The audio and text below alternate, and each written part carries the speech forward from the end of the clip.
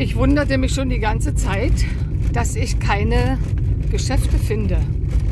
Klamottenladen, Schuhladen oder dergleichen.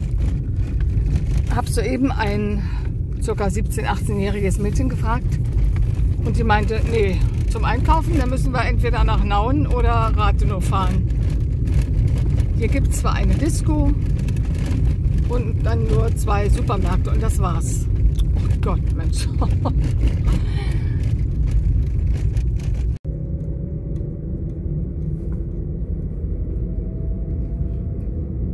Rechts ging eben eine Kurstraße ab. Eben die Niederweilstraße. Hört sich ja eigentlich alles ganz gut an, ne? Man denkt, hier ist ein bisschen geschichtlich was zu finden. Naja gut, das sind jetzt alles nur Wohnhäuser, ein Lottoladen. Aber wirklich echt, hier ist nichts. Das gibt's auch überall.